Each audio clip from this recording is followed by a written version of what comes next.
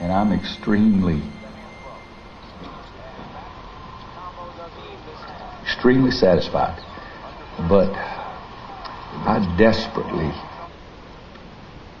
and it's not war and it's not economy or anything, but I desperately wanted this championship for that young man.